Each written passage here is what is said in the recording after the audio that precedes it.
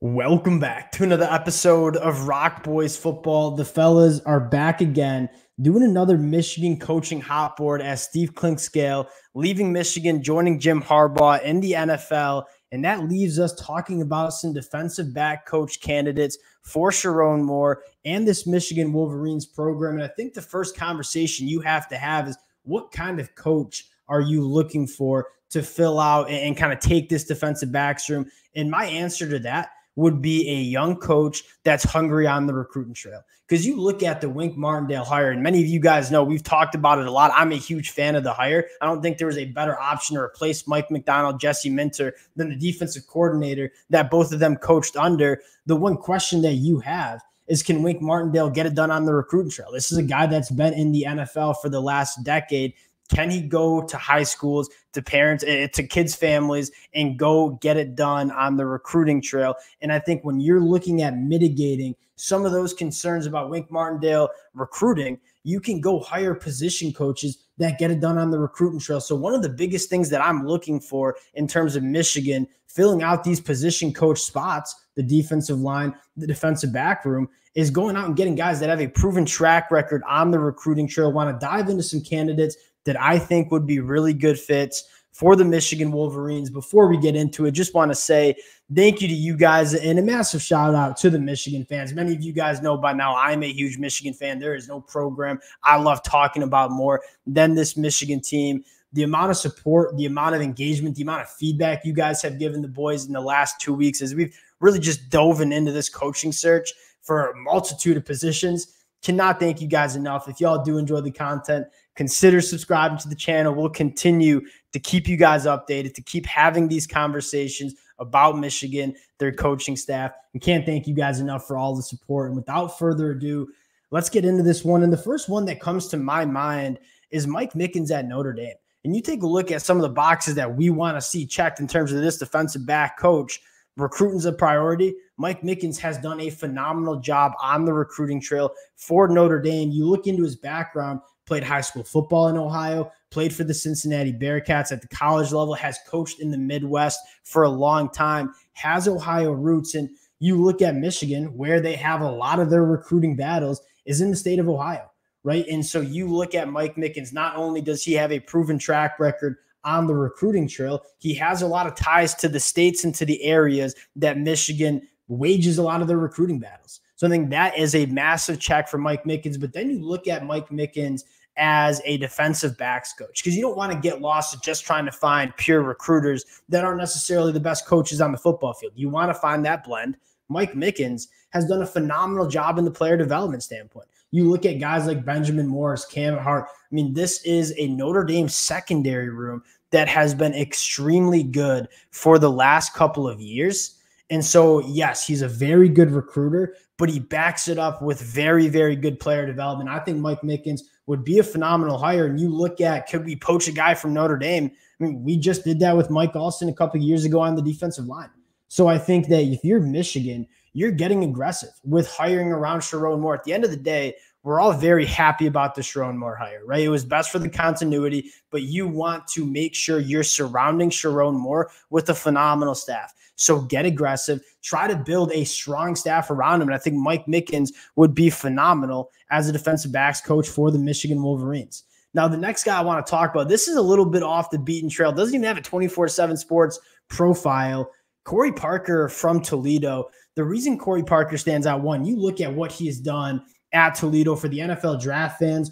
Quinyon Mitchell, probably going to be a first round NFL draft pick coming from Toledo at that cornerback spot, has been phenomenal coaching this Toledo secondary. And you look at that Toledo coaching staff, there are a lot of good coaches on that staff. That's a reason they've had so much success the last couple years. Corey Parker has done a phenomenal job coaching Toledo. You take a look at their numbers, they only gave up a 53% completion percentage to opposing quarterbacks. That was fifth best in the country and only 6.3 yards per pass attempt. That was 13th best in the country. So you look at the player development, you look at how this secondary has played under Corey Parker. You feel really good about that. Then you look at the background of Corey Parker, extensive career as a high school coach in the state of Michigan. This is a guy that you look at recruiting your own backyard, making sure the best players in the state of Michigan are coming to Ann Arbor. Then Corey Parker comes in and slots right in and is a very, very good coach in terms of recruiting the state of Michigan, the state of Ohio. Another guy that has the blend of elite recruiter. I think he could be. You don't really know because he's been at Toledo, but the ties to Michigan and Ohio certainly help. But then you look at what he's done at Toledo, has done a phenomenal job. This one, in my mind, would make a ton of sense for Michigan to go after, and uh, maybe a little bit unproven because this would be a massive jump up from coaching the cornerbacks at Toledo to Michigan. But a guy that I think would be a very interesting name to kick around. Another name that I'm taking a look at here, TJ Rushing. And TJ Rushing is interesting because one, he's a guy that's looking for a job, has kind of been all over, right? Played his football at Stanford, has some NFL experience, grew up in Oklahoma, was coaching at Texas A&M for the last couple years. Jimbo Fisher gets fired. TJ Rushing looking for a job. Now, the conversation about TJ Rushing, one, has he been the best pure defensive backs coach in the country? That's probably not, not the case. Just saying I'm on the defensive side of the football, especially in that back end, hasn't necessarily been great. But what is really appealing about TJ Rushing is he might be one of the best recruiters in the country as we get this ad out of here. You take a look at what he's done. I mean, five star Terry Bussey in the 2024 class, guys like Denver Harris, Smoke Bowie, Bryce Anderson. He has done a really good job recruiting, especially in the state of Texas. And you look at Michigan and Sherrone Moore and what he wants to do. Yes, you want to be able to recruit the state of Michigan, the state of Ohio, but this is a Michigan program that just won a national championship. I mean, who's to say they can't recruit and go into the state of Texas and start taking some of the top talent from some of those southern states? And I think a guy like TJ Rushing would probably allow you to do that. Now, he is much more of a pure recruiter hire than a guy that you feel really good about coming in and making this defensive backs room really well coached. I'm not saying he's a bad coach, but he didn't necessarily do a great job at Texas A&M. But he does get it going on the recruiting trail. So that's another interesting name that you could throw out. Now, there are a lot of other names that I could include here that Michigan can go after. And I guess what I'm going to bang the table for is I mean, get aggressive. This is a Michigan program that one is a premier team and premier program at the college football landscape. It just won a national championship. This is a coaching staff and coaching positions that is extremely appealing. Again, you look at the guys that have come to Michigan and have been able to springboard themselves in their career. If you're a young defensive backs coach that might be coaching at a Power Five program, this is a very appealing job. So I think there should be a lot of names on Michigan's boards, and I think they should be swinging a very big stick, a very aggressive stick in terms of who they want at this defensive backs coach.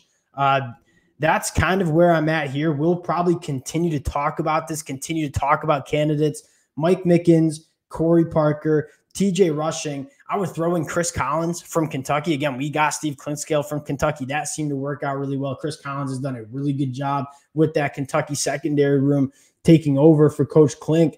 Those are probably some of the names that I'd be taking a look at. Again, we'll continue to cover this story, cover the names that are emerging as candidates for this Michigan program. Appreciate you guys rocking with the boys. It's been a very busy last couple of days for the Michigan Wolverines football program. We'll continue to talk about it. We'll continue to break it down. Appreciate you guys rocking with the fellas. Let me know in the comment section any names that I might have left out the list that you would like to see kind of talked about in future episodes. Appreciate y'all rocking with it, and we'll talk to y'all later.